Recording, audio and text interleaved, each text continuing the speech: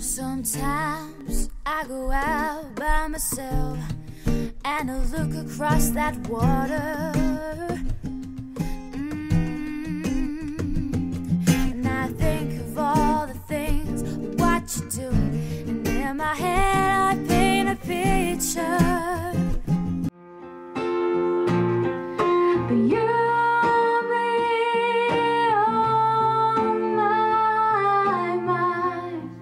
Oh.